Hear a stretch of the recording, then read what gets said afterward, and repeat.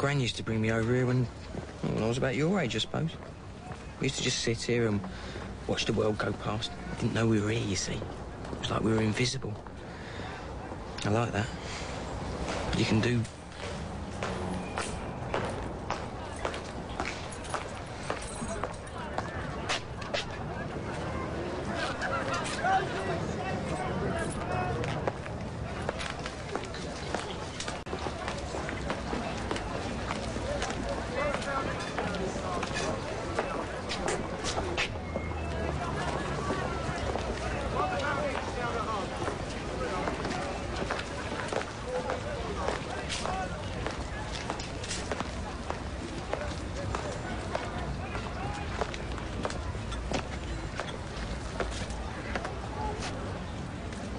How are you?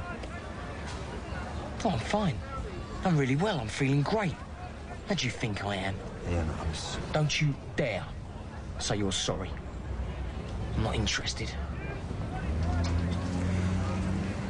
Okay, I understand how you feel about me, but I want you to know... I am sorry. I am. I never knew it would end up like this. Did you know what she was going to do? No, I didn't.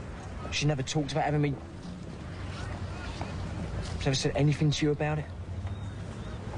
I'll be honest with you. Oh, that'd make a refreshing change, wouldn't it? She said a lot of strange things. Like what? Odd things. I don't remember exactly. She, she wasn't making much sense. Well, it must have made some sense. You gave her the money. Yeah, I mean, didn't you question her about it? Didn't you ask her what it was for?